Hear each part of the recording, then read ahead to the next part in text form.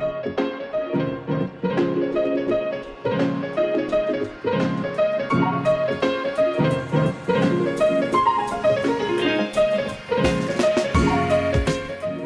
Welcome to Magic the Flavouring, the Magic the Gathering podcast, when we talk about all things magic, flavour design, and lore. I'm your host, Andy Mann. Hello, this is Nathan Cancel. And we're going to talk about Modern Horizons 3. Hype, hype, hype. I mean, for, for, for everyone, it's been a while, and as with all things uh, magic related, when it's been a while, there's a new set out. So, Yeah, I kind of feel so. I do think we have slightly slowed down production of these podcasts again. I think we kind of go peaks and troughs, but we do seem to hit every story and every sort of like set release, like with the flavor picks. Then we do do like one or two supplementary ones. said do do so I'm I'm happy with our output. The problem is, the problem is, and I think a lot of creators, both big and small, both full time and part time like us, feel this way. Is that because there are so many sets coming out, and you want to refine what you do. Like we could completely just sack off doing new release stuff completely and just every time we record just be like we're going to talk about the different kind of goblin ears that are in the multiverse and why we think it's actually this one that's correct blah blah blah you know we could really go like niche and do all that kind of stuff if we wanted to but then we don't get to talk about the new newness Yeah, exactly. And the thing is, especially when it comes to like uh, flavor podcasts, I think um, it's kind of nice to see the tr- the the direction of the current state of magic. You know, like um, sets like these where it's kind of a little bit nebulous, of where it's a little bit of throwbacks, it's a little bit of reprints, it's a little bit of new old lore, which we'll get into in a moment. Um, it's quite nice to see how how how the how old lore is handled in a, with a new window, Yeah. and then obviously with new planes and stuff, we kind of want to talk about the new new because it's a new interpretation. Do, do the car do, is magic getting better at telling the story or worse at telling the story? Yeah, and I, it's funny. I've been I've been getting back into li- listening and watching other Magic content because I kind of fell off some of it, the ones that I liked for a long time. And there are other Vorthos type creators that do these kind of studies on other things. Like obviously Magic Man Sam from Mystic Studies does mm. like you know one every few months where it's like this big case study, and then like the Vorthos cast who obviously we talk about and drew a lot of inspiration from in our early days. They also do a lot of new set stuff to keep up with everything. But I was think I was literally thinking about this today because I was listening to their episode about flavored gems from like this this set just to kind of sort of see. I like seeing where we overlap and where we don't sometimes. Um, I usually listen to it after I've written my own notes, not just to completely plagiarize what they do.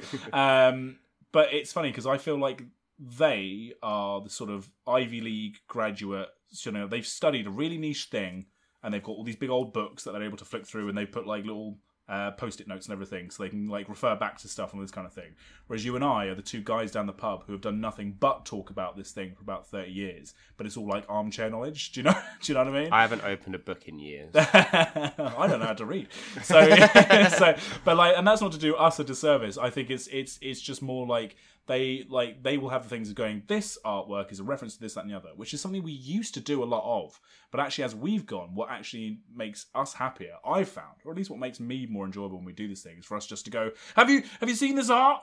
Have you seen that art? Why is no one talking about this artwork? And just you know, look, look, is this, and what does this mean for the multiverse? Literally staring at ridiculous artwork. Yeah, as you say exactly. And I, you know, what, I'm happy with that. I we could go back to doing like really sort of deep dives and things, and I'm sure I missed. There's an episode. There are two episodes that are actually they were really popular at the time. I remember because they they spiked really highly.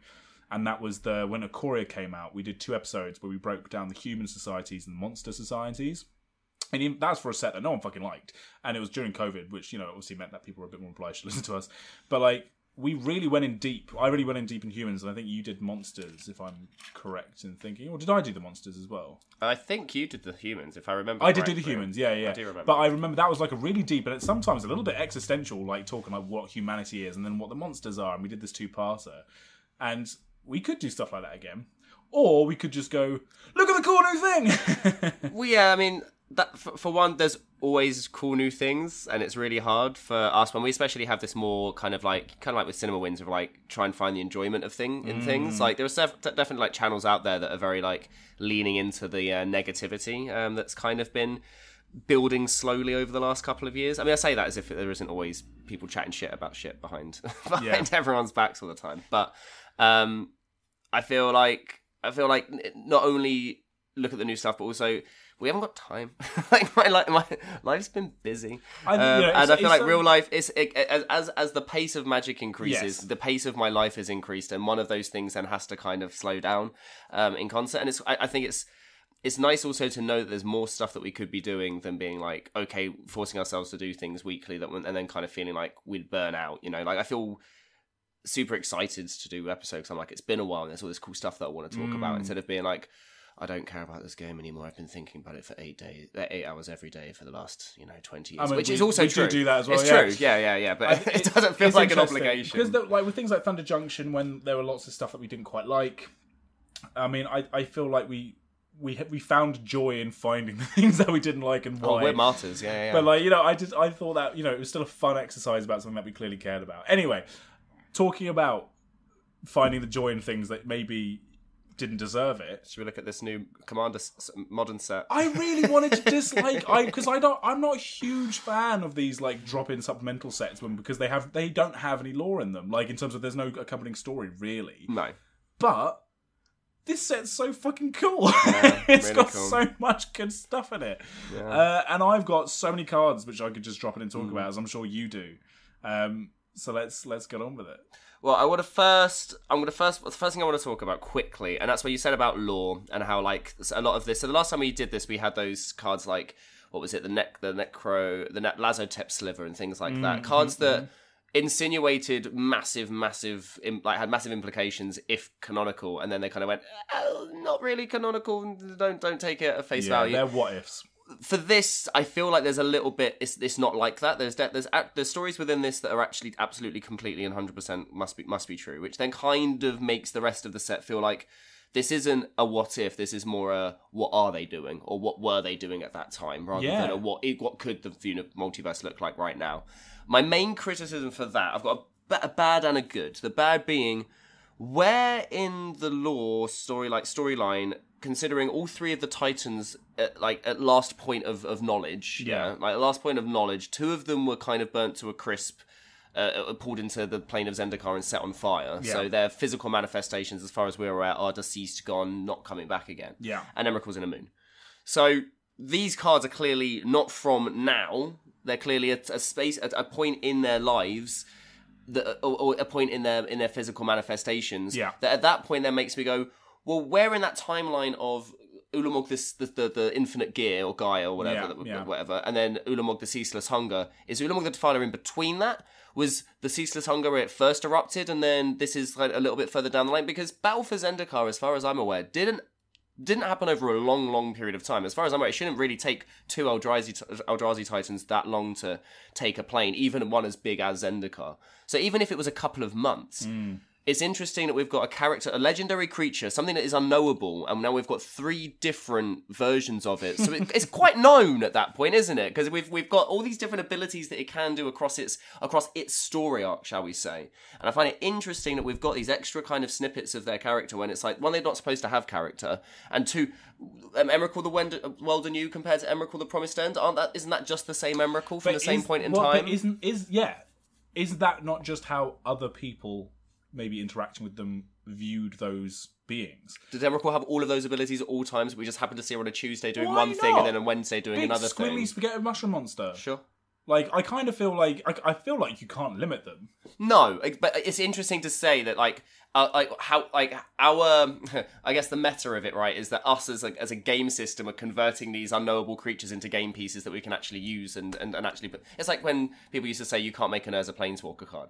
Well, eventually they fucking did. Of course they did, and it was really powerful. Yeah, but yeah, still, yeah. it wasn't. It was not still going to quite hit the nail on the head. So of course you've got to have some artistic license. I I feel like it's different artisans painting different pictures of the same Titan see on the horizon. And instead of just reprinting the same three Titans that everyone's got already, let's add more Eldrazi bullshit to the pile of Eldrazi. books. I'm not actually going to go into any of the individual cards. They're all nonsense. They all do absolute batshit crazy things. I don't know if you were going to. uh, what the Eldrazi Titans Yeah. themselves, I actually only have one Eldrazi that I'm talking about. Cool. But none of them are the Titans? No. Good, yeah. Because they're, they're cool. They do big splashy things. They're Eldrazi Titans. We've seen two more iterations of it. That's not that interesting. For me, it was more a matter of it's, it's interesting and it's an interesting thing to talk uh, to think about in terms of the arc of the story, right? Because compare that to the other thing. The positive is that we've got another another suite of flipwalkers Yeah, which is very very cool and this is this is com- the complete opposite because this is an actual point in time that we haven't seen of these characters of where we can you know glimpse a little bit more of it or i guess for one of them ajani we already knew this event had happened we already knew he went from um, ajani kind of okay as a, as a dude. I mean, we haven't. I mean, this is actually the only time we've seen Ajani not as a planeswalker, right? Yes. So the Ajani Vengeant being the second one to come out, Ajani Goldmane being the first time we ever see him, but that's Yes. him a little bit older. And then Yeah. we saw a Ajani Vengeant in Conflux, Yeah. uh, or actually I think it was in Shards of Alara, the original, um, uh, the original uh, set of the block. Um, and he was all red, white, and everyone was like, "Oh, what, what made him so angry?" It's like, "Oh no, no, that's that's him. He used to be angry. You know, his his brother got killed, um, and that's what caused him to flip." And we obviously see this literally in the card of where he comes into play, makes a two one. Second flavor fail, actually, quickly. The token that he makes is mm. some leopard looking lass, a woman, cat warrior, but the cat warrior is supposed to represent Jazal, his brother. Why didn't you just do a Jazal token? Interesting. What you would would you do a legendary Jazal token? Well, no, but just the fact that the 2 1 that Ajani makes is quite clearly supposed to be his brother, and then you go to get that token and it's just someone completely different. yeah. I mean, I guess the idea is that it might not be him, but It's it's, the it's, supposed maybe. to be, right? Yeah, I guess, I guess. And then obviously when the cat dies, he flips, so then you get the, the, the Planeswalker side where it does some stuff with cats and, and, and then has a weird, like, sacrificey effect. I think all of them are fine. I don't know why we got Ral. Because uh, Raoul's going to be in Bloomburrow and they want to up his stock. Oh, I guess that makes sense. Yeah, yeah, yeah, yeah. I mean, I kind of find that both that and his saga, because each of them also get a saga attached to Yes. them of Ral and the implicit maze. I'm like, yeah, but what we're really focusing on Jace going through the maze in that set? Like, it's all well and good saying like Ral was also there. It's like, Well, no, but I think I, I think you can not to just contrarian every point. no, good. I like it. I think you can say, well, yes, Raoul was there because Raoul was fucking there. Like, yeah, but is that an it interesting it was, right, saga? It was right in the middle of being like, well, Jace is just Magic the Gathering now. Hmm. Jace and um, Chandra, red and blue. It's like, well, no, there are other fucking planeswalkers. I guess to counter that, to counter my own point, is that Tamiyo's saga is Tamiyo meets the story circle, which Mm-hmm. is also equally kind of dull and boring and not that interesting. The other three being uh, Ajani fells the Godsire. I didn't actually even know that in the lore that he felled a Godsire. oh yeah, I did. And he, and the, the carving is all in the, the tooth of the Godsire, which is quite cool. I think sick. the idea is that everyone was like. This fucking albino cat, what a dick! And he comes back and goes, "I just killed our, essentially our god." And everyone Yeah. was like, "Oh damn!" Oh cool." shit.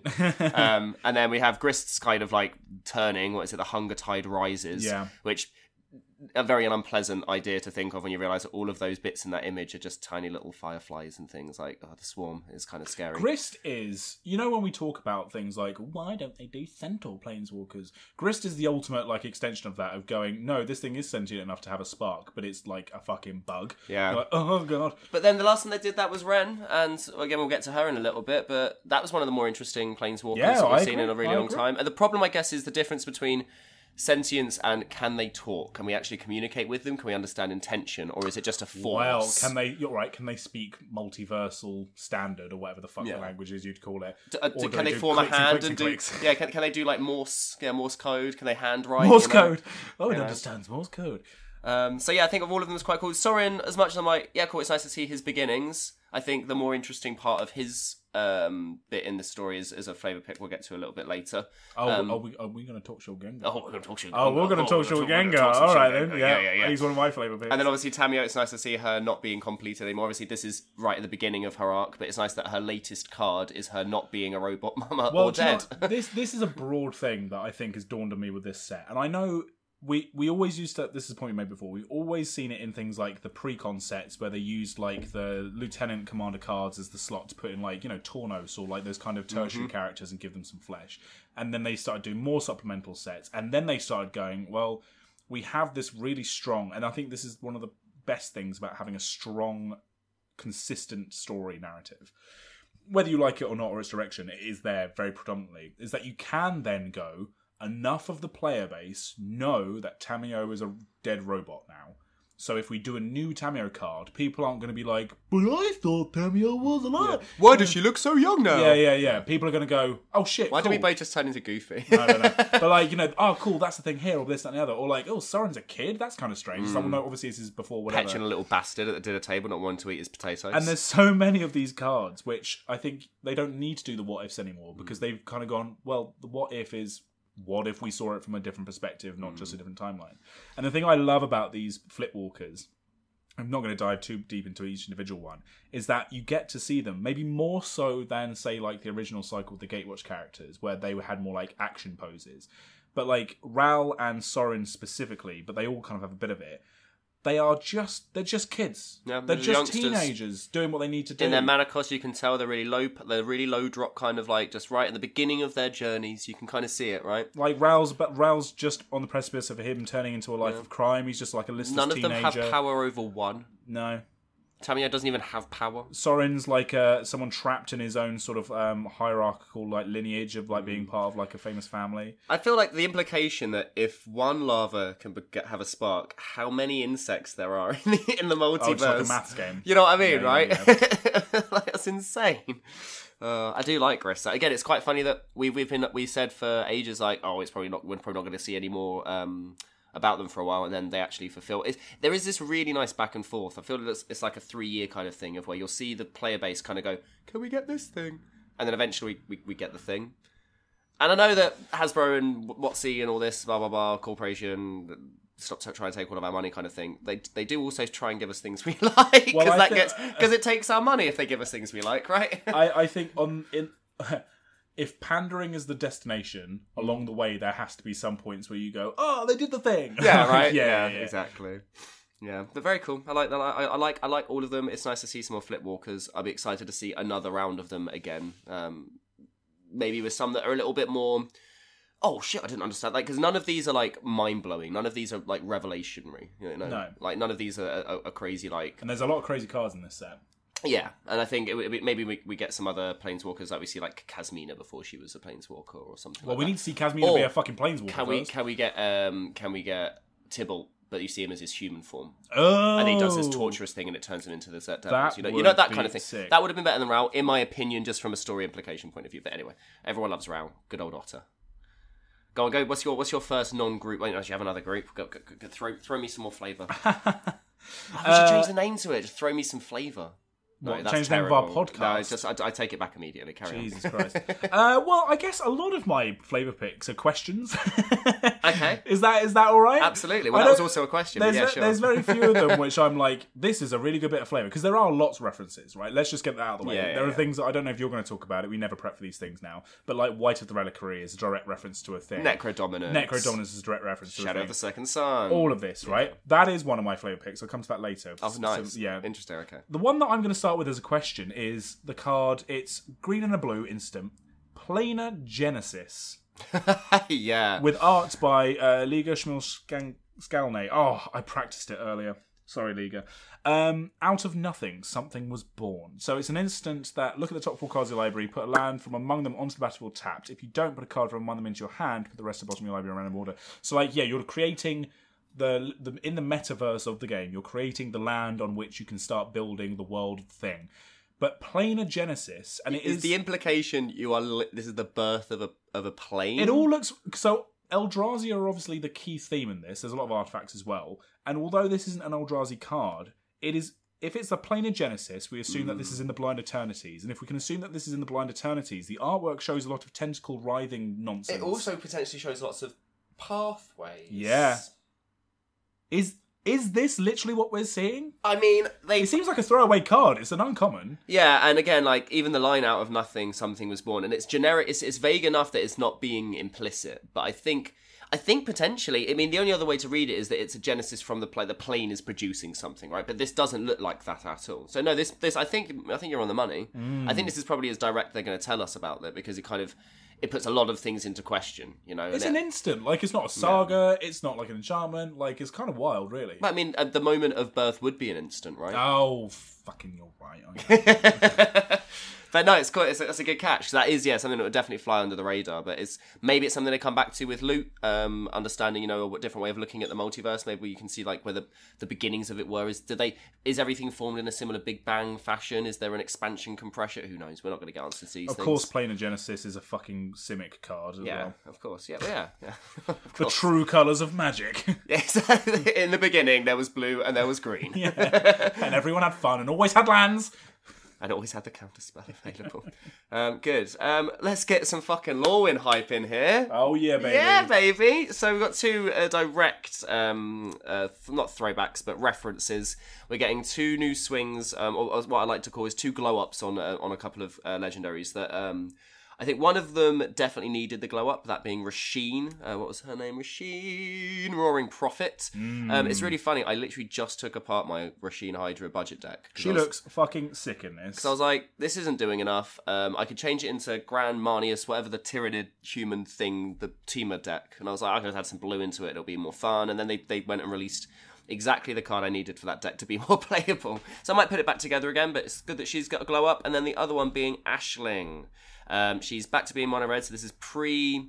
Well, we don't know because we are going to Lorwyn again next year, um, and we don't know if this is now maybe her currently now that the aura has been fixed, or was this her in Lorwyn before the aurora happened to, to Shadowmoor before all of the resolution of that arc. Don't know. I'm assuming this is her now. I'm assuming everything's okay, and she she as much as she burnt a lot of shit to the ground and was big naughty naughty, being the extinguisher, hoping she's now. Hey, you know, I'm, I'm fine now. Everything, you know, phoenixes and stuff. Everything rises from the ashes, right? Everything's okay. Um, much better card, not just single single use. Put 99 mountains in your deck and have a fun troll the game. the elemental Afrits of Lorwyn and Shadowmoor just looks so Afrits or as Well.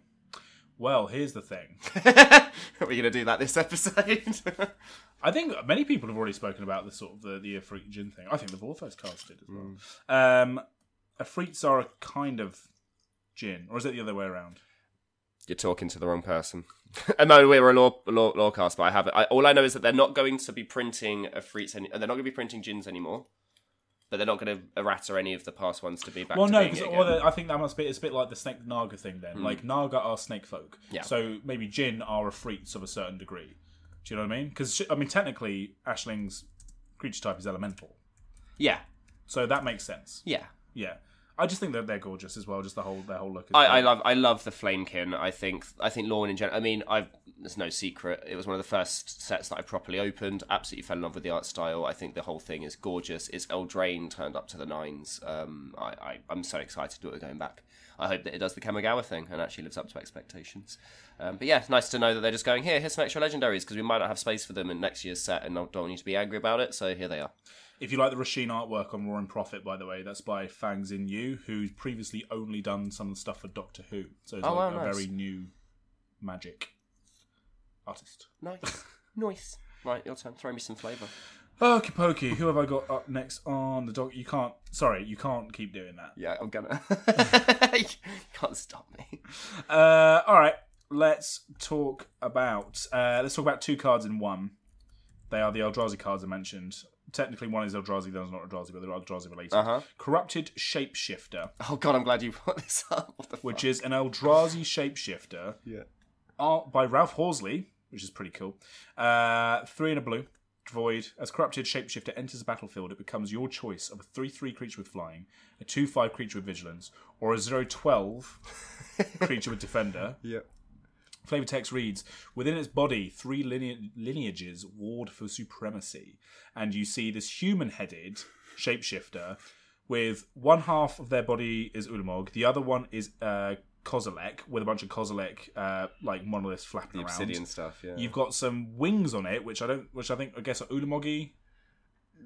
I think wings aren't technically any of them because Yeah. they're supposed to float, but it's the, then- it's the tentacleness at the bottom that Well, feels it's- very Ulamogi. It's Ulamogi tentacles, but like you could, you can tell there's lots of emerald eyes all over them as yeah, well. the Emrakul eyes. Yeah, and it's just the, the idea. I mean, obviously, this is, this card is actually very clean. My my one criticism for those wise, or I suppose Mel's Mel's uh, wise in this set, is that a lot of the artwork and the references are very clever. But actually, I don't think a lot of the stuff the cards do because and because this is a set ostensibly being printed into a very functional format. As much as everything is Commander Masters these days, it's not a commander set, so they don't have to make things like super nichey. They do have to have things be more functional. Yeah. So the the room for like, well, this is a goblin with a hat, and he does things that goblins with hats would do. Do you know what I mean? Like, so I don't think the set is that all on fire with it. However, this one is very clean, where it's coming in with lots of different abilities relating to the different Eldritch Yeah, titles. the idea that they battle for supremacy Yeah. is an interesting flavor point because you. I think the idea that we have is that they work in in sync, like in um, concurrent synchronicity, right? Of where Ulamog comes and destroys everything, Kozilek morphs it into a into into into pliable putty for Emrakul to then reimagine into something functional, you know.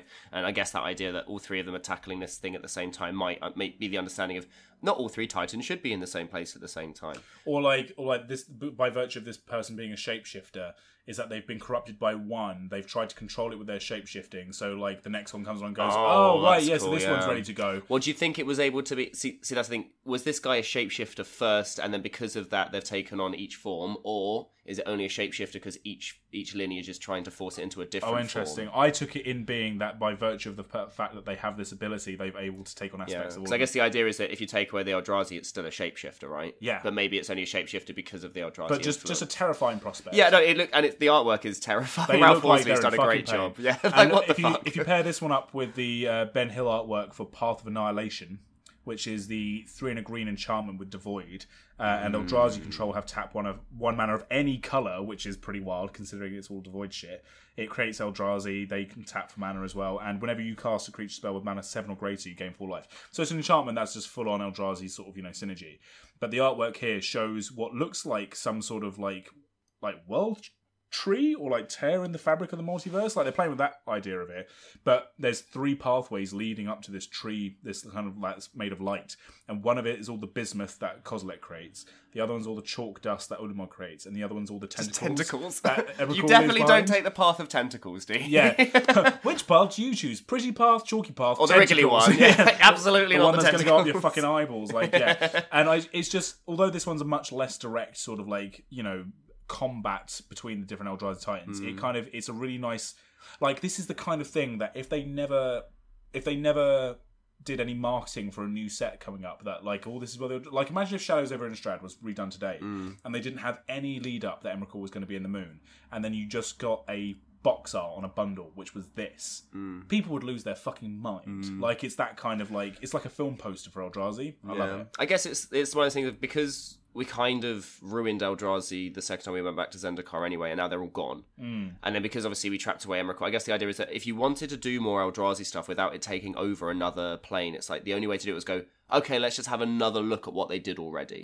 And then it feels like this is them making up for it 'cause they don't have to tie it to werewolves in Innistrad. They don't have to, te- to um, they don't have to like make all of these they don't have to downplay the Eldrazi strength to make it match up with the allies because allies are fucking you know really weak, um, like human kind of things. You have to balance like it's it's like the reason why Rise of Eldrazi was a separate set from Zendikar and Worldwake and drafted separately is because you couldn't really balance these one drops that had landfall that really wanted to be getting ag- ag- aggro in with a nine drop seven eleven. You know, so Yeah, it's yeah. quite nice that we now get to go back and see them do another interpretation of that original kind of like this is the weirdness, the strangeness of the Eldrazi, and it kind of really lands. Um, and I go going into this set, I originally thought from from a a playing commander point of view, I was very much like, cool, I want all of the lands, all of the flip lands, the MDFCs, because of course they were literally made for, for, for, for commander players. But energy, don't have an energy deck. Eldrazi, don't really have a colorless deck or a devoid deck. So two thirds of this of the set, I'm kind of like whatever, don't really need, don't really care about. But from a flavor point of view, mechanical point of view, they actually are really really cool. yeah That's really cool. I do think now, uh, since I mentioned it, I do think that there is a little bit of a, a conceit that they did just go, "Hey, can we reprint a bunch of reserve list cards, but put energy on them and make them energy related, so it's so it's actually okay now?"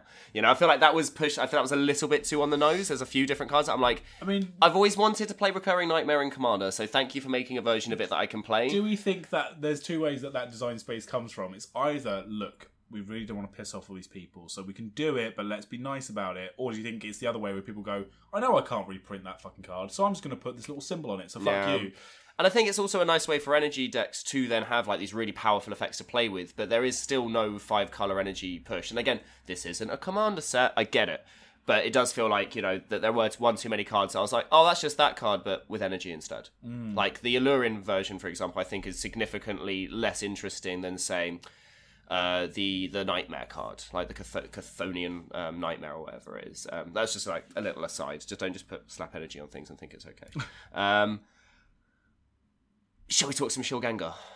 insert obligatory Pokemon joke here. Yeah, I mean, yeah, right. But so, so, so each of the, I don't know if each of them did because Gris doesn't have a legendary assigned to it that I can tell. I think that's where the space for an, another legendary I'll talk about in a moment comes from. Um, and I don't think Ajani got one either, but Tamio got Genku, Sorin gets Shilgengar, um, and essentially it is the demon that originally created the vampiric curse thing stuff that Yeah. started off this whole, this whole, this whole, this whole bullshit nonsense on Innistrad. It was Shilgengar's doing in the, in, in in the first place. So it's from the story from 2000, uh, Magic 2015. That was actually published in 2014 by Colin Kawakami, um, which was one of the yeah Magic 2015 stories set on Innistrad. And it's it's like one paragraph. I read it the other day, where it's it's a set, story set on Innistrad, blah, blah blah blah, and it's from the it's the oh the Luma, the Lunarch's journal is the story. So it's from the point of view of this Lunarch talking about you know the battle between good and evil, bloody bloody blah, and it's one throwaway line uh, about talking about how Shilgengar created the famine and tricked Edgar Markov into like doing what they needed to do. So Shilgengar is the one who create who was didn't create the famine, but is like responsible for pushing the famine that drove the humans of Stensia into a desperate situation that then caused Edgar Markov to try and find a solution. Edgar Markov being a very famous um, alchemist and well respected. The Markov family were fucking rich as shit. And then he turns to Shilgengar, who appears in a very demon way, and goes, I've got a way that you can keep your people safe forever. I can exsanguinate angel's blood, which gives you immortal properties. So he creates the famine and then tells this alchemist, Well, if you do this thing, you get to beat the pushed him to the brink and then Yeah. offer him the deal to get out of it. Yeah. And Sorin, the Sorin's whole story, the reason he looks like a moody little shitbag in his cards, is because he Sorin didn't want to take the angel's No. blood. This is the this is the biggest tragedy of our little goth boy Sorin. Is that he never wanted to be little goth boy Sorin. He wanted to be just a kid, and his granddad was like, "Drink this angel blood, boy." Yeah, tough. Yeah. Tough. Which is why they had such a fractious relationship Yes. in um, Midnight Vow. Um, Midnight Vow? Crimson, Vow. Crimson Vow. Midnight Hunt. Yeah, Yeah. there we go. Cool. Midnight Vow. Crim- yeah, yeah, exactly. Um, so um, it's also dank as fuck because he's literally sat on a throne of angel wings. Yeah. Um, he's super cool. So cool. It's a really cool deck as well. It's nice that they're finally doing like a proper black white angel commander because as much as he's a demon, it's all about sacrificing angels and then bringing them back from the graveyards. It They kind of love gives a black white angel, don't they? They've got that R- Rudolph. Rodolf, Ro- Rodolf, Rodolf the Duskbringer. There's a couple of Orzhov angels as well. knocking Yeah, around. exactly. Yeah, well, what was the what's the one the bald bald chick? What's her name? Uh, Deathless. That's Deathless Angel. Uh, Angel of fuck. Can't remember. Not Angel of fuck. That's a whole different thing. I mean, being the Angel of Despair. Yeah, but go. then you also have Death Pact Angel, and you also have uh, Angel of the Scales. Oh, it was my pre-release card for guilds. I know Magister of Worth is one as well. Another black white angel. That is another black Just white listing angel. black white angels at this point. Oh, They're great. yeah. But There's, it's not, very there's cool. not a bad one. They're all great. They all slap. It is very cool. Uh, since we were talking about uh, Shilgengar, and I kind of mentioned him already, Genku is also in the set. Uh, this being um, Tamiyo's husband. Um, the main thing to talk about this is the fact that um, whenever another non-token permanent leaves the battlefield under your control, uh, w- w- it doesn't really matter about that, but he makes tokens, little tokens of foxes, moonfolk, or rats, and the the fox token is just the cutest little. Can we talk about in the tokens? I didn't think you were going to There are so tokens. many tokens in this set. It's insane. There's like I've, 50 I've saved the page. The tokens in this set are fucking rad. Yeah. We've got a new clue token, which is one of Tamiyo's scrolls. We've got um for a card that's like another card. There's like sp- spawn of the Wurmcoil or whatever the card is called. Wurmcoil Larva. Thank you. Yeah. It doesn't actually create the same tokens that a Wurmcoil No. engine creates, but it creates a two one and a one two lifelink death touch worm. And so you could, if you you know own a sharpie, uh, take these tokens because the Wurmcoil Engine tokens are fucking hard to find. I've, I've got two of the lifelink ones. I don't have any of the death touch ones. I- no, I- other way around. I have two of the death touch ones and not a lifelink. I took like art proxies yeah, of, of it's, it's what most people end up doing. Yeah, like there's the rat token. You're right. Is this little rat in a gi, So cute. little samurai? gi. Obviously, this is Nash, one of Nash's brothers. Yeah. Um, and then you have the fox, which is just look at the little guy.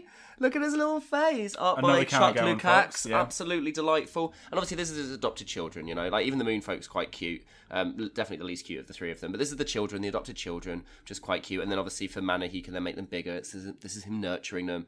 It's really cute. It's nice. There's a little see. samurai insect token as well. Is there? Have you seen this guy? Oh no, it's the um. Isn't that the? Oh, oh that's so cool. I'm now showing Nathan Oh my god, the it's like a little uh, mantis Madeline guy. Boney insect mantis. Oh, that's the one that the Nantuko thing makes. Yeah. Okay. Yeah. Sick. Oh, that's awesome. Yeah. There's that- also a new Moonfolk token. There's so many tokens in yeah, this so set. it's a really They're nice really set for beautiful as well. tokens. Yeah, and obviously we got another printing of Ophiomancer, so more opportunities to get that one one Death Touch Snake. Um, yeah, very cool. Genku, big fan. Um, Um, have you got any other legendaries you want to talk about? Any people that are in the set? one you more, didn't expect? one more, one more. It is uh, in terms of legendaries. It is the legendary dragon, which is oh, I've lost. Oh, the Null. Kite. Yeah, what's their name? Herigast, erupting Null Kite. Yes, thank you very much. I've lost the page. So Herigast erupting Nullkite is dragon. But this talking about timelines and where they're all jumping around and X, Y, and Z, this is clearly post Shadows over Innistrad because it's a dragon that's been corrupted by Emrakul's influence. Like You can many, tell it's a Moonveil one because it's Yeah. a very, very lithe-looking, Yeah. semi-transparent wing thing. and yet again, I take every opportunity to remind Magic the Gathering players. Innistrad has fucking dragons. Remember? Yeah, Like, literally, not- uh, literally only th- I think three. Uh, there's a few. There's a few because That, there's that would be three. well, they've got a lot of drakes, which seems to make a little bit of sense because drakes are kind of Drakes are fine, but there was. Did they have moon drakes? The, well, they've like Stitch Drake, and there's a couple. Yeah, there is like a Moon Silver Yeah. Drake and stuff. So, and that in my mind, for whatever reason, you take away the front legs, and I'm like, yeah, that's kind of like horror tropey. I don't know why, because they're more like lizard-like, I guess. I mean, would you expect in most most situations if you have one, it's like yeah, but evolution probably would have allowed them to have both. I just think for a set that had so many iconic creatures, you didn't need to go. Oh, Also but dragons, dragon. yeah. Also, like who you just need it. But also, dragons are really strong against undead because it's flames kill flame, most things. Yeah, but the dragons on Innistrad for the most part, because it's actually, I think this is an art direction problem, not an actual lore problem. I think the art, some art direction got left under the radar. But for most part, they're moonsil, these moonsil dragons, which have these kind of very sort of like thin, uh, rainbowy, sort of Iridescent iridescent kind of, wings, yeah. and they kind of glide around, and they've got these long sort of Germanic dragon snouts. They're fucking rad as shit. They do fit the Germanic setting. They just don't necessarily fit the horror setting. And this being having the influence of Emrakul, it just it adds this whole new spin of taking something that was quite a beautiful creature on a plane where beauty is very hard to come by Mm. and fucking ruining it with tentacles. twisting it. Yeah, um, and I just thought I, I love the idea. It fit. There's something about seeing a, a creature or a character that has a corrupted influence where and again this is the kind of very clever thing about playing with timelines and looking back at different perspectives where we never met this character before they didn't have a card before but i feel upset for them because i know through other contexts that they weren't always like that Mm. and something has happened to them it's like seeing a Phyrexianized character going fuck dude you must be really fucked up like Yeah. not Elesh Norn but like the human characters yeah, the ones that have been turned. Yeah, Yeah. yeah, yeah. I guess yeah. It's, it's, one of those things about you've taken something pretty and you've you've yeah, you've ruined it. Ruined it. Also, this card is fucking bonkers. Mm-hmm. You build this deck right, and it is insane. Um, very cool concept. Very very much like it. Um, quickly, my last legendary that I want to talk about. There's another one that I think I'm just going to talk about when we eventually get to the fourth of it. Um, if you know what I'm referring to, well done. You know your lore. Um, six. A name Ah, that yeah. normally wouldn't be an acceptable name for a legendary character. Like, you can't just call a fucking character six and be okay with it. But because we've already had Wrenn and Six together, there wouldn't be anything other. What would have been interesting if it had been like, had you given it the- name that it would have referred to itself as, which I guess it's a tree, so it probably wouldn't have. But then underneath that, you could have had that little thing, you know, where they put like the secondary name and then, then put the name six on. Anyway, whatever. Um, I like the fact that we see it separately. We see it doing its own thing. Maybe this is is this before or after Wrenn left it. It kind of looks like it's after because there's almost like a Wrenn like kind of space of where Wrenn used to be in it, and this is just six going on its merry way, being happy back at home again. I quite like that. interesting I don't normally care about tree folk, but I like them more without faces than with faces. I I wrote a note for this card. I'm glad you like it. The note I wrote was, "What a waste of a card slot."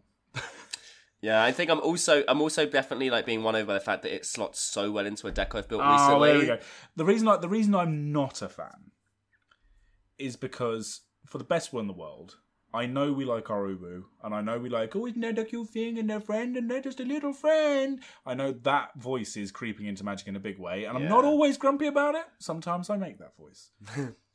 the thing that we liked about Wrenn and Six was this idea that this dryad drove around a tree mech. Yeah. And when we had Wrenn and Seven, we weren't like, but what happened to Six? We were like, cool, Wrenn and Seven, new tree mech, let's fucking mm. go. Wrenn died saving the multiverse with Wrenn and the World Tree, right? Whatever. Seven, I believe, yeah, got burnt. I believe. Yeah, I think so. Because otherwise, why did she separate? Because I, I- don't think she, she she couldn't have left whatever plane she left Seven behind on without without a planes without it to planeswalk with. I don't want. Who's playing this as a lore fan as their.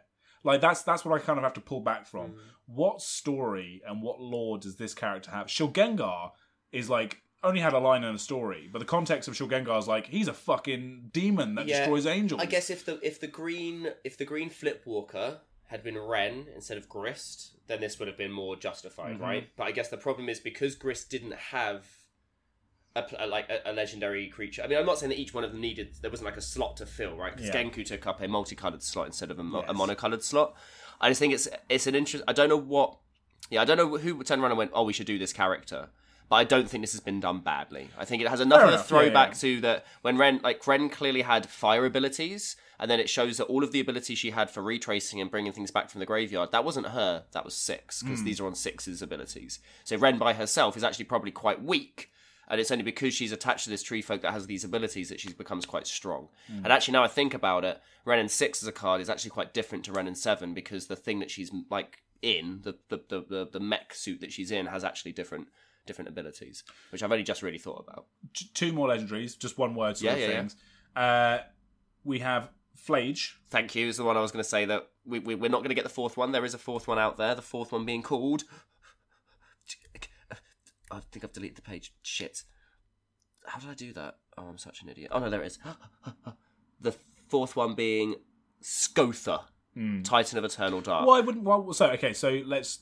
Phlage, Titan of Fury's Fire. Yes. is the white red coloured Titan from Theros, not the gods, the Titans. Lightning Helix on a six six. yeah. So and great art as well by Lucas Graciano. Phenomenal artwork. Phenomenal artwork. So this goes along with Uro and uh, Uro.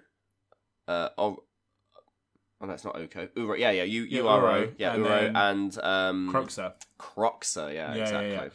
I think we can get the other Titan. There's many a supplemental set. I think the main reason they didn't do it recently is because the ancient one was also. Uh, uh, this is massive conjecture, but I believe it's probably going to be blue black because it's called the Eternal Dark.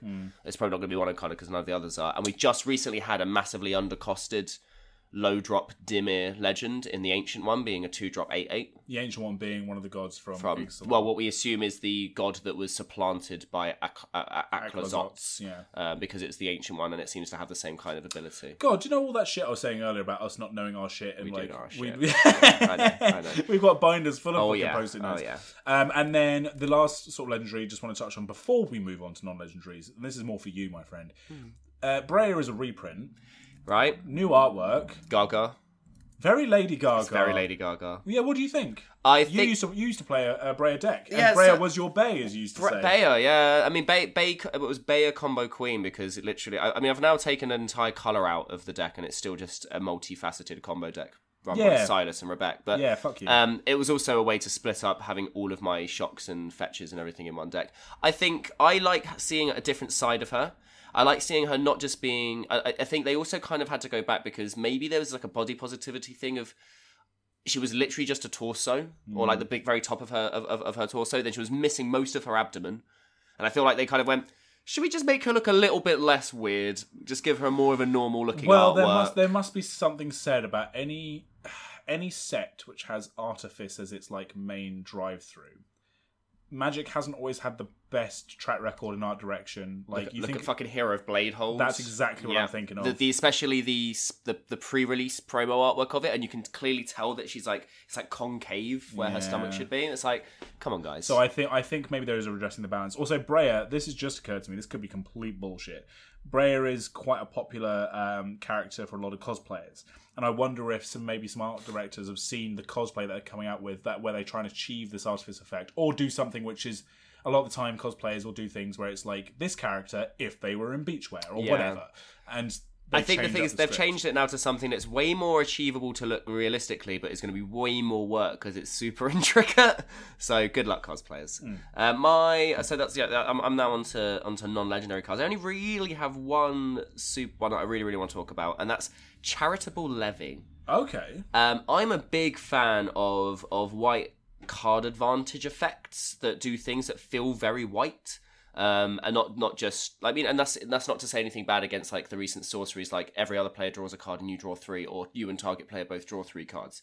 Those are fine. That's a nice negotiate negotiative, but this feels like this is, hits the nail on the head way better. One and a white for an enchantment. Non creature spells cost one more to cast. It's Thalia ability. Whenever a player casts a non creature spell, put a collection counter on Charitable Levy, and then if there are three or more collection counters on it, you sacrifice it. When you do, draw a card, and you may search your library for a Plains card, not a basic Plains card, and put it onto the battlefield tapped, then shuffle. The idea being that tax effects don't normally you don't normally see where that money goes. Here, you get to see where the money goes, hmm. and then because it's because that then pays back to you, it's essentially the idea that it's charity. You go, please pay to me. I really need the help. Please pay the taxes, and then you see the benefit of the taxes. Mm. Now that's that's really nice. Now this is a tax effect that doesn't feel like a douchey move, and it doesn't feel like they've put charitable levy on it to be like cute. Like land tax, you know, or something like that. It doesn't feel like it's going, oh, ho, ho, ho, ho, taking advantage of the people. It's like, no, no, no, this is the way to stop the greedy players. Mm. Get the rich folks, get them to pay their taxes, and then you, the lowly white player, you can benefit from it. Mm. That's great. Put it in a deck where you can recursively play it. Oh, we're talking value, boys. Yes, and it affects you as well. It's not just your opponents; it also affects you. You're, it's fair, good, honest. White. This is where white card advantage should be coming in, and I like the fact that it does both the land and the card. It doesn't put the land into your hand. Like I feel like a lot of white trying to get it there effects just aren't good enough. Like I play a lot of random effects that goes get a Plains card, put it into your hand. I'm like, that's just not strong enough anymore. Absolutely put it into play. Let's catch up. Let's do a little bit of taxation. And again, people don't have to play it. You know, they can pay creatures if they want to. But yeah, really cool card. Sorry, I chose, Sorry, ex- I chose exactly the time to you to slurp. Yeah. We're, we're back on the wines. Um, Yay! Wait, wait, today is a lovely uh, Cabernet Sauvignon 2022 product of France. products of France. Louis that you say de that. Camponach. Oh, we should probably Louis finish this first bottle. Wait, one, sorry. I mean, we're going to have a little. Yeah, top up. We're double recording intermission. today. We're batch recording. Yeah, Um, back to back. We're bagging them um, Good. ahead of Stop. Magic Con Amsterdam. oh, yeah, I, true have, that. I have so many cards to talk about, but Good. I think so. I'm going to talk. I'm going to ask. I'm going to ask the questions. Yes. the ones that are cool are cool. It's like Cyclops, Superconductor, cool. Another is it Cyclops? They're fucking rad as shit. Yeah, something that's really underplayed. Like we, I wish, I wish Melek had been a Cyclops instead of a Weird. As much as Weirds are cool, The Cyclops is a Cyclops would be really cool. Yeah. You have Kaladesh, the the new Kaladeshi dragon, tiger, cat, dragon, Yeah. which is. But, but here's my question. But he looks very much like the one from Ikoria, right? Well, Thriving Skyclaw, it's called. The interesting thing here is that the the dragons on Tarkir, which all have this kind of again dragons, dragons on Tarkir, all have this tiger aesthetic. Wait, is this is this not? Ka- Wait, this is Kaladesh. yeah, it's the Kailash. Yeah, yeah, yeah. yeah, Sk- the skyships, the skyships three, Sure, right? right. Sorry, yeah. But it's a cat dragon now, whereas all the dragons on Kaladesh originally were just dragons. Just dragons, yeah. This this feels like this feels. Uh, take away the skyship, I'd have thought Ikoria. Obviously, energy, well, put the skyship in. You would have thought Ikoria because Ikoria has skyships. but not the Aethera. Uh, I guess, yeah. Actually, it's a good point. See, that's a crossover that would work quite well. I think. What if, like, what if Kaladesh brought their tech to in Ikoria? Yeah. and like the humans triumphed over the monsters. And we'll talk about that a little bit later. But for you viewers, that might be a little while later, longer than that, because it's Yeah, going to be an Arabia Scale episode. if you're listening to this episode a week behind when we recorded it, you probably another episode in between. Um, so there's that. Um, new Pete Venters artwork with Warren Soultrader.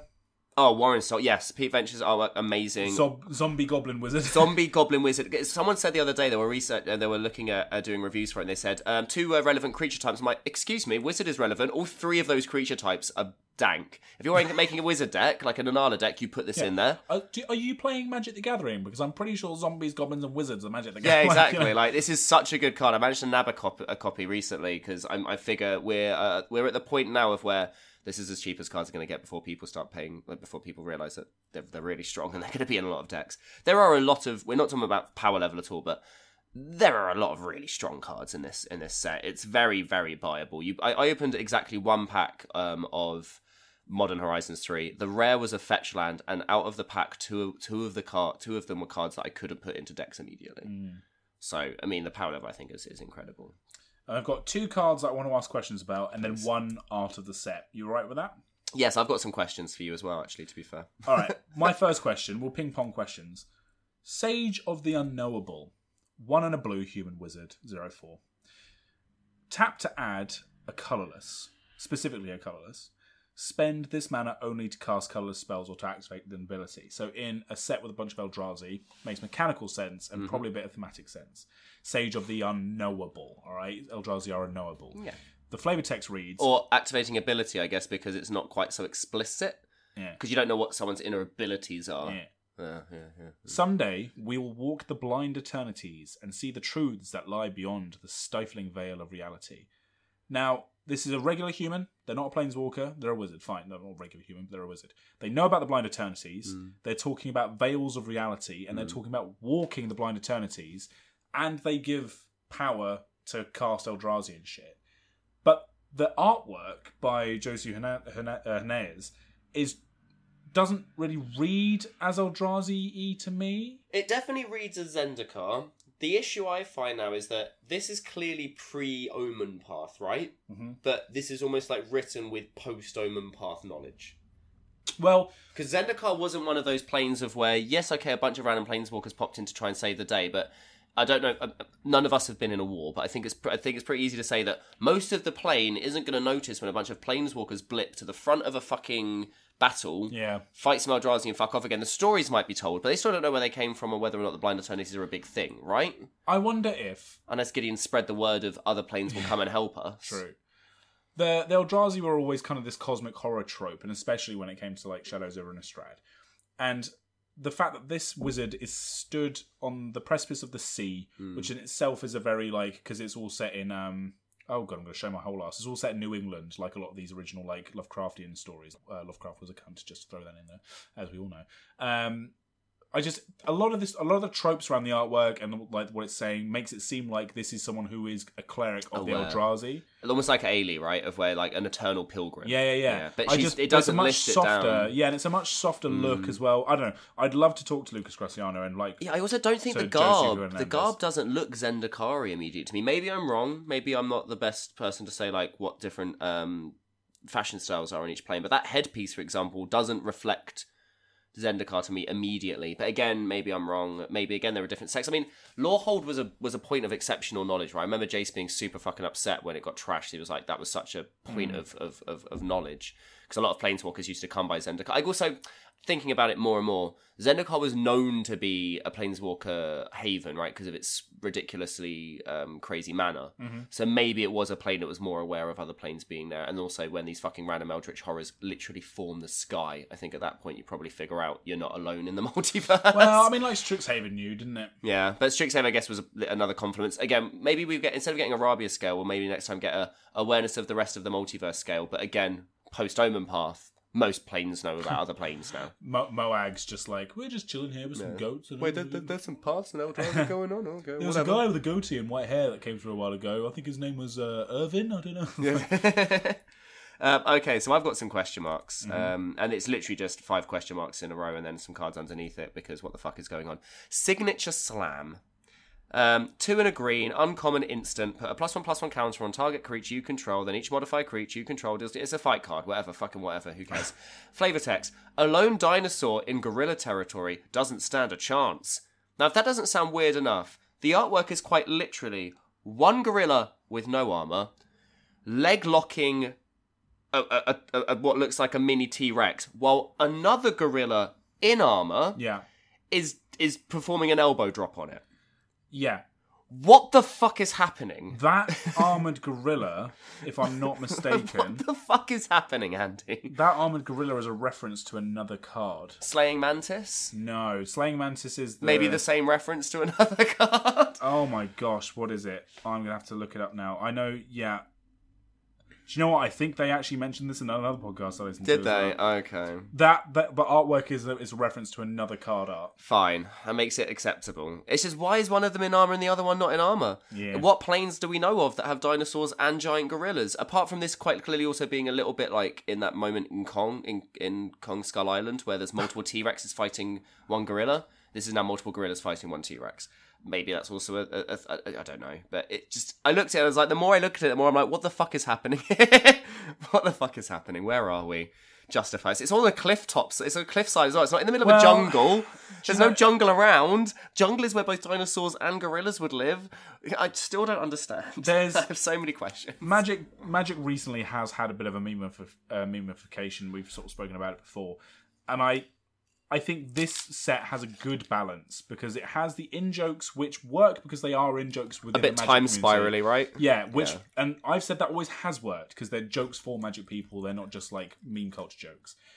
And this signature slam, I think, is the balance of sometimes it is nice to have a silly card in the set, and this is the silly card in the Yeah, set. it doesn't Do you know what I mean? annoy me. It just I just have an infinite questions.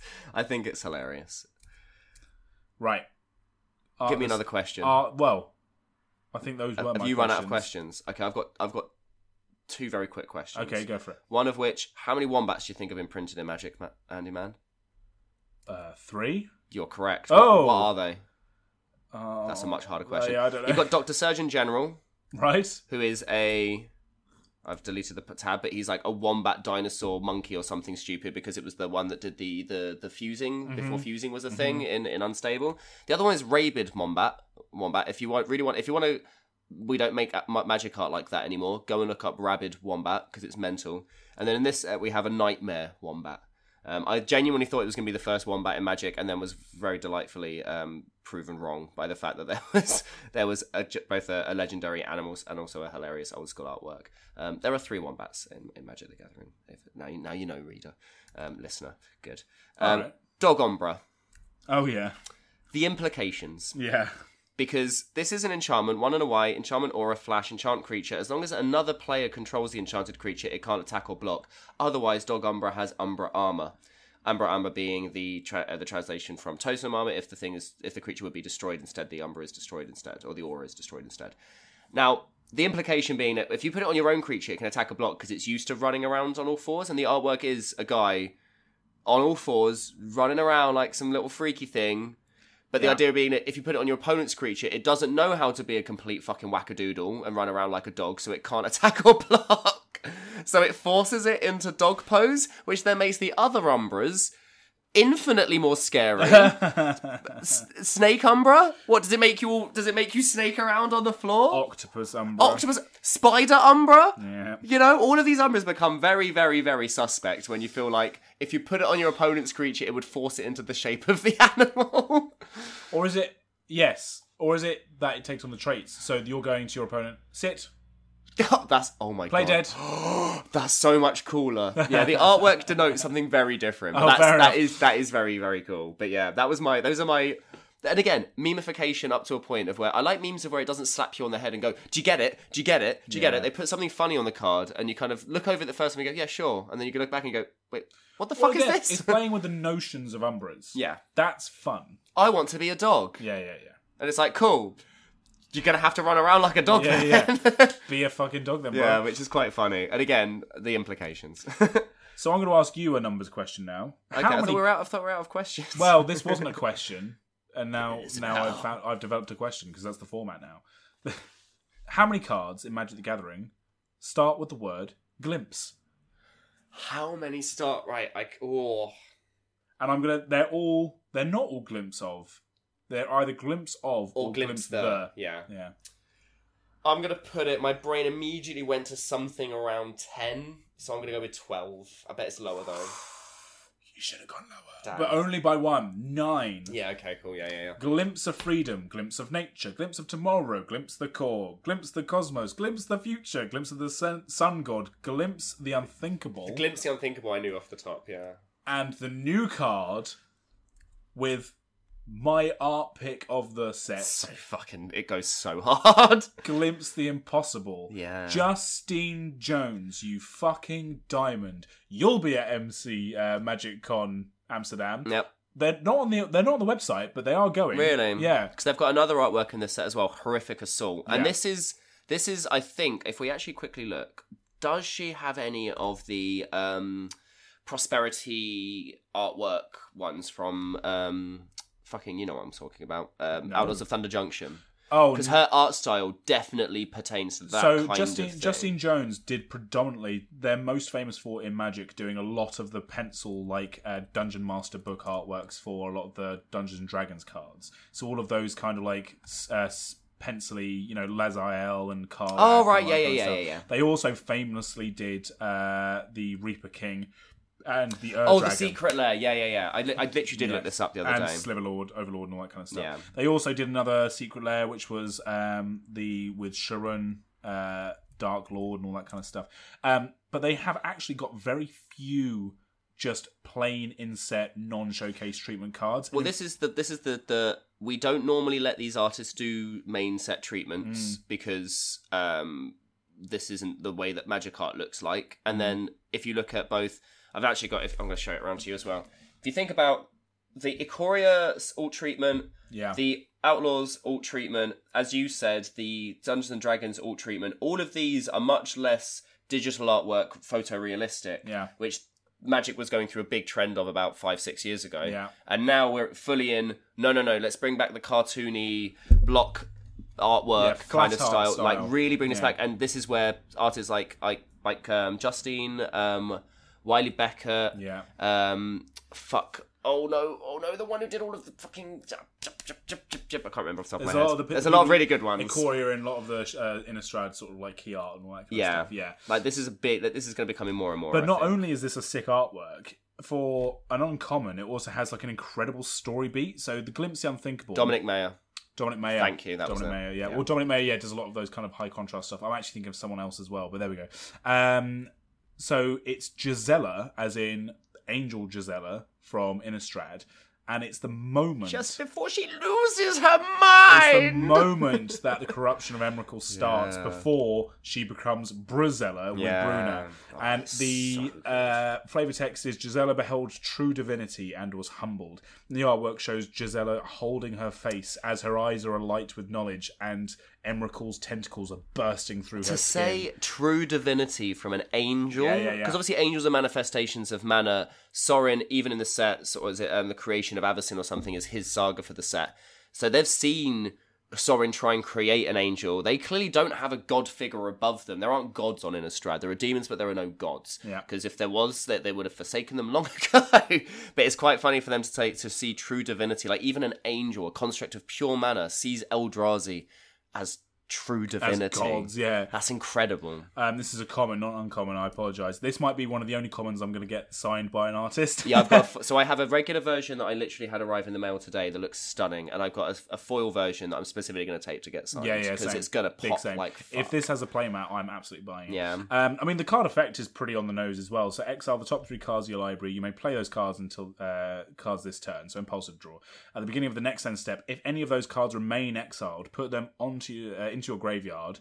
Then create zero one color Eldrazi spawn token for each card put this way. So it's low like so much utility. like for a common Because worst case scenario, you pay three mana to ramp three and put th- a mill three. Because and put three bodies on the field. Because they put it into your great yeah blockers mana. you like, mill three, ramp three, body three yeah. for three mana for a common.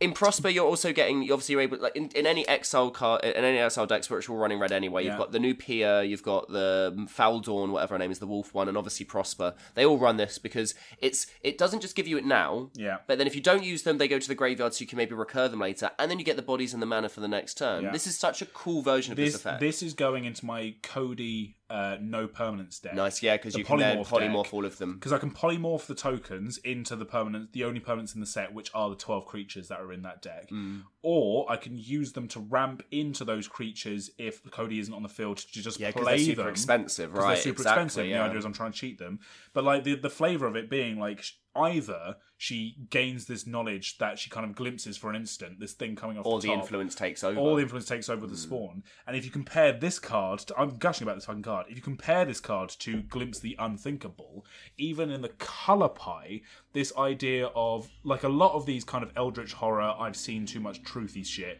come in Dimir colors. And I it's mill related. no or related. It's your related. mind Yeah. crumbling. Whereas this is the red version of that, which is the the power of the knowledge makes your kind of fucking senses explode. Yeah. This isn't a deterioration of yourself. It it's gives you yourself access. exploding outwards. It gives you access to that knowledge rather than that knowledge overtaking you. You're being pushed into that knowledge. Yeah, that's that's a really cool. I mean, this is this is a fucking common. I, know. and I it- actually listed it as a rare when I was putting down all of my list of cards that I need to buy. I put it in the rares, and I wondered why I couldn't find And it. th- this might be my art and flavor pick of the set. Big Mm. Well, time. I don't. So it's funny because I also had Justin Jones as my art, just but I knew you, I knew you were going to pick it. so my other one, and this is kind of semi-controversial because we really shat on this last time. Profile artworks are back, and this time okay. they're actually good. Well, now now that's my opinion. you shat on them. Did I shit on them? I like Because to. I the- like to always. I mean, I always like- liked. I always like to implicate you in my in my negative opinions because then it stops me being alone in them. Because kind of weirdly following on from this Gisela, Gisela card I just spoke about, the Gisela profile artwork from the last time. It's literally sleeves of one of my deck. I mean, one of my decks. I've got a foil so one in, in a deck, and it's utterly beautiful. Yeah, it's stunning. Yeah. So these, I don't know if it's just because we've got way more non-humans. You've got a bear. Kudo just looks so dignified. It's so funny. You've got bears, demons, plants. You've got fucking elder giants, dragons. Like they fill they fill the space way way more. Like there's much less negative space. There's much less. It's just a guy in profile. I think there's maybe one or two that I'm like, yeah, I'd rather have the I other th- version. Well, I think your big problem from memory was that, especially when it came to like you know Kaikar, was like it's they're not interesting on profile. Yeah, you're also you're not giving it additional information to where they're from, but obviously all of these come in their original forms anyway. And I think all of their original artworks are fine. But for certain ones like Perlia, yeah, the red's a bit overpowering, but also the original artwork's really muted. So to have this real popping, and again, in your command zone, I know this isn't a commander set, but in your command zone, these feel right at home because it's a really big version of your character in profile. This is who I'm playing. Yeah. Look at them. Look at them. They won't look at you because they're looking left, but look at them. so yeah, I think this is a real turn up. Again, some of them, some of my highlights are uh, Imskir, Iron Eater. He's great. He's the he's the the, the, the, demon. Um, Phlage looks phenomenal. It's you can't quite really see it in the main artwork 'cause it's quite far back in the distance because it's a fucking titan, so it takes up most of the horizon. In this, you get a little close up of his face. Breya in this, weird enough, has almost uh, has similar artwork to her original artwork. So if you didn't like the new artwork, you still have an alternate option to play with that's not the same as it was before. Um, again, I just I think these are really cool. Six, I love yellow. Having yellow in the background, then it pops um, six's foliage to feel more autumnal and feel more like it's uh, like a more yellow effect, like it's going to molt soon. I mean, yeah, I don't know. To, to take something that I originally didn't like and then go, oh, okay, this is actually really cool. Um, yeah. it's- Well, they are nice doing all this for you, darling. Thank so- you. I do feel like uh, my my zero letters to WotC are being heard. so this is great. the the last card I wanted to talk about because we're coming up to time, I guess. Yeah. Um, was uh, oh my gosh, thank you, phone. Uh, Shadow, Shadow of the Second Sun, yes, which is four blue blue enchant player. It's an enchant player aura, which is always there. but it's not a curse. It's not a curse. It's not an enchantment. It's an aura. At the beginning of enchanted player's post combat main phase, there is an additional beginning main phase after this phase. Face. Well, we've seen this text box before. Yeah. On Sphinx of the Second what does it Sun. do in this one to really help you out, though? Uh, oh, I don't know. Oh, it gives you reminder text. It gives you reminder text, Andy, just in case, so you don't fuck it up this time. I had a game recently. You were there, you Yeah. know. Were you there or you were on the table I was on the table next You were on the table next to me, where I had my own. This was my polymorph deck again. I was playing the Sphinx version. I had my own Sphinx the Second Sun in hand, but I managed to steal someone else's Sphinx the Second Sun out of their deck with my Sphinx Ambassador. I was playing a Sphinx deck. Um, so I had two Such cool. My Sphinx to steal your Sphinx. two Sphinx of the Second Suns on the battlefield at the same time, which meant I got two beginning steps at the end of my, my, my beginning of my end step. Now, A, I love the fact that they've done a ridiculous card again, so you can have two effects in one deck, which is nuts. My my question is, I guess this is another question card. Uh, so the artwork by Danny Schwartz. I, this could be Kaladesh, it could be not. I don't think it is because it's not particularly like uh, North African or Egyptian-y, but it is like strange. Um, I'm going to say hieroglyphs as a shorthand, not hieroglyphs literally. I'm sure. Sorry, I feel that's slightly culturally inappropriate, but you know what I mean. Symbology on the floor. The two shadows going across. They are holding a spear, which have which has two horns, but it's, they're not Bolas horns, so I don't necessarily think it is Amonkhet. But I guess my, my, my thing is is that is this a reference in any other way to Sphinx of the Second Sun? Which and in turn was Sphinx of the Second So- Son a reference to approach the Second Sun? Because they're different abilities, but they all seem very closely linked by their themology. Do you know what I mean? So the reference artwork wise is to temporal manipulation. Oh, for sure. Oh, okay. Yes, yes. See what yes, I mean? yes, So it has that very similar look of being on the dial face, Yeah. but then it obviously has the implication of Amonkhet with and it. also the, the yeah the double sort of like Yeah, the idea of having another ver- another turn another turn. I, I guess my question is: This feels very much less like you need to do an, uh, a this version of this, and more like take all the ideas and themes of this thing, Yeah. and put it on a card. That- the again- artwork artwork is again another quite flat, boldly coloured artwork is also fucking sick Mm. as well. Again, I think these are the kind of sets of where normally I'm like, I don't like ancillary sets because they feel pointless. Whereas now they're actually filling ancillary sets with even more lore than sometimes a regular set does. This has more lore in a set, I think, than say Midnight Hunt does, as an argument. Because Midnight Hunt is only showing a little pocket of one particular plane, whereas this is showing you across the multiverse, across various different times, lots of little bits of things. It keeps stuff relevant as well. There's a hmm. there's a is it oh my god I can't is it Argos or something? There's a card which is a Phyrexian card which has like an Elesh Norn vibe to it, and a Phyrexian card in a set which is full of Eldrazi. And it keeps it means that we can have these villains or have these hmm. characters be relevant for the people who are fans of them, especially as we're mostly only staying on planes now for one set. It gives the breathing room to these. you can then have a bit more. Yeah, you won't. Where else were you going to get Plage or Flage? I think it's Flage. It's definitely Flage. Where the fuck? Also, where the fuck is the Necrobloom from? Because it's horrible, sketchy as fuck. Don't like it. I don't. Th- it's not It's Ixalan. not Ixalan, It's not yeah. Ixalan because I think we got it right. That I think the Nexus, the spell, the Skull Skull Nexus, Nexus. was, I think, a, a, a human. I think it was the Coin Empire repurposed technology and then they fucked it up and they created this horrible thing they couldn't control. Uh, but the, being a 2-7 format, anyway, the Necrobloom is also really scary. I don't know where it's from. The only last final, final thing, because we always forget to talk about them, lands. The full art lands in this set are phenomenal. There are six of them. Five of them have titans in the background. It makes the swamp makes makes Emrakul feel as scary as she she should. yes. Um, yeah, okay. The other ones also. I mean, the plains has um, Umalog, Ulamog roaming across it. Um, there are also slightly different interpretations of Kozilek across the island and the forest. Slightly different interpretations of of Ulamog across the plains and the mountain. Um, you can even see the warping of the mountain when when when the Eldrazi goes. It's a really cool perspective take. It reminds me a lot of uh, Brothers War, of where they did the big giant mechs, um, but this time instead of being metal, it's flesh Uh, or whatever you call Eldrazi. I don't know if it counts as flesh. Um, but yeah, cool. very cool. Good set. Surprisingly good set. Do you know what? Yes, supplemental sets I've always been a little bit like, ah, it's just a cash grab to pump up like sales and for power creep. But actually, this one, Yeah. this one, this feels like EDH in 20, 2018. That's the problem, right? Is I think the issue is because it does a lot of things so well. The main gripe that people have with this is that it doesn't feel focused to what it should do. The problem with the last two Modern Horizon sets is that when they did do a focus on on modern and then also have a little bit of everything else, modern got ruined twice over. This is still going to ruin modern in some fashion, I'm sure. Like I, th- I think they've done a good thing of holding back. You don't want more griefs, you don't want more solitudes in the format, um, and they've done just enough to kind of go here are some here's some cool cool stuff you can mess around with. But then clearly the rest of the set has to go somewhere and do something. Yeah. You know, so at that point you might as well give a little bit of something to the Vorthosian, Vorthosians. You might as well give a little bit of something to the Commander crowd. I know everything's for the Commander crowd, but the big thing is everyone now plays Commander. It's been the natural way that the game has developed. Unfortunately, if you want a super sweaty, tight, competitive game, you can play other games. Yeah. Magic is maybe forming into something that I think I think EDH was always going to be the natural formation of it, of this personal expression of how to to to to, to um, form this 30, 30 year old twenty five thousand card game system. Is it's going to be more self expression. You know, it's going to be hopefully a bit more flavor instead of let's try and tighten the screws on this two drop to make it you know a four a four of in every deck. I don't know. I don't know. Anyway, Modern Horizons, good job. Magic's cool. Magic's very cool.